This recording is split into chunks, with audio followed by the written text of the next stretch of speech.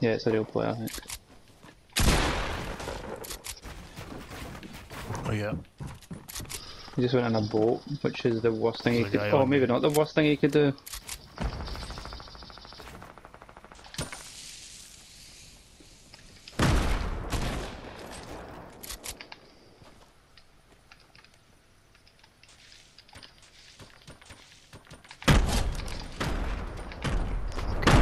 Four hundred IQ. Man.